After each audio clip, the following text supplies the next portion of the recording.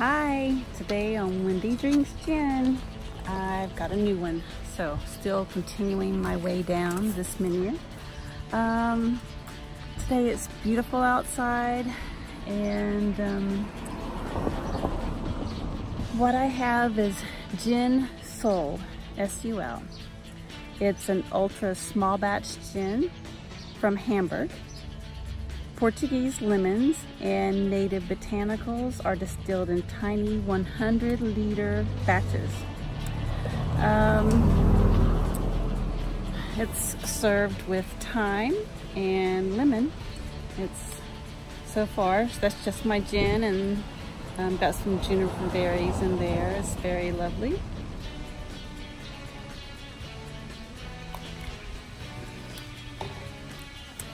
Um, it's it's a little, it's not as smooth as some gins, but um, it tastes like gin. It has got a little harsher edge to it to me than, than some of them, most of them I've tried. And I have the Indian tonic water, uh, Franklin & Sons.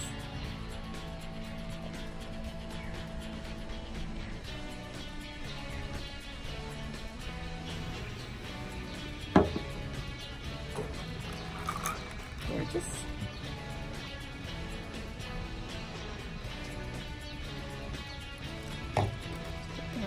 more.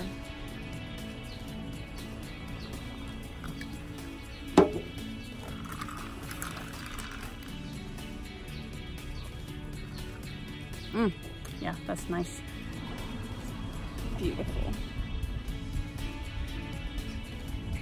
What would I drink it with? And, you know, I don't even know. Eric asked me the other day, oh, when he heard me talking about um, pairing it with something, he said, oh, do they do that with gin? I was like, I have no idea if they do or not.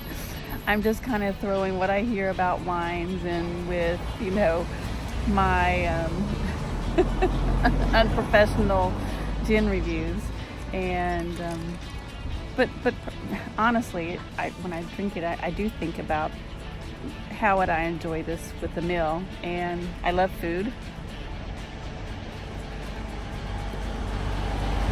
And like most of them, I think this gin would go with anything, any food, any snack, except for sweet. I'm not sure how it would, like, you know, a cake or a dessert or something like that. I'm not so sure about that pairing but I'm more of a salty uh, person anyway, so give me some peanuts, some chips. So yeah, I think it would be fine with anything. Or like I'm doing today, I am just having just the gin and sitting outside in the beautiful sunshine. So again, my recommendation, if you're eating and you want this gin, I recommend it. If you're not eating, recommend it.